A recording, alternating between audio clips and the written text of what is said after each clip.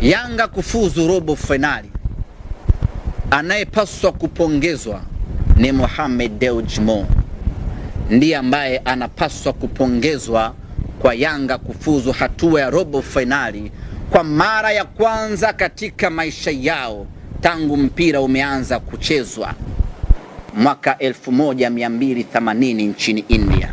Kwa mara ya kwanza anakwenda robo fainali. Wa kupongezwa na wa kushukuriwa ni rais wa heshima wa Simba Sports Club Mohamed Dewji Mo. Mnaweza msinielewe, lakini huu ndio ukweli ambao hakuna mtu anapenda kuusikia, lakini huu ndio ukweli, utabaki hivyo na utasimama kuwa hivyo. Na wa pili anayepaswa kupongezwa ni Simba Sports Club. Kwa nini?